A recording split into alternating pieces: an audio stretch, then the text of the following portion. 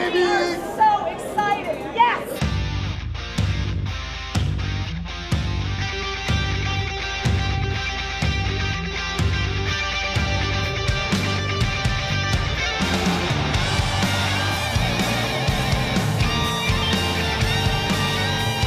I'm so excited that Charlotte Checkers are here because we have not had a single hockey game all season, and now finally we have a hockey game.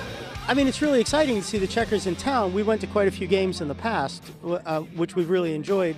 The Charlotte Drive isn't very far. We've been waiting to tailgate a long time. Our group has, has been doing this for, for a long time.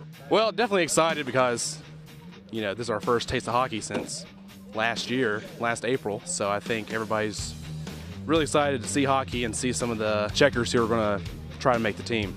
We're one organization in the same in a way, but this is showing the Raleigh area our young talent, or their young talent that will eventually be up here. And it was a great opportunity for us to take our show on the road, so to speak. And I think it's gone very well. I got a jersey back in May. This is the first time that I've had a chance to actually get to actually wear my jersey. So I'm so happy that we actually finally have hockey in Raleigh. We went to see the Checkers in Charlotte recently, and we were so impressed not only by the talent on the team, the enthusiasm, the arena itself, and we're thrilled to have them in Raleigh. Absolutely excited beyond belief.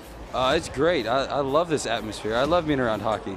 I think people have been waiting for a long time. They're ready to bring it on. I think it's going to be very loud, and I think they're going to be very excited about a hockey game. Not only the checkers, but some of these checkers might be in NHL in a couple weeks. Uh, we're really happy, obviously, with this day. So many great things have happened today. The lockout uh, is on the verge of being over. Obviously, it still needs to be ratified, but just a great day for hockey in the Carolinas, great day for hockey, period. The building is full. We've got both Carolina Hurricanes and Charlotte Checkers fans here in harmony, and the energy in this building is incredible. It is very exciting to have them over here.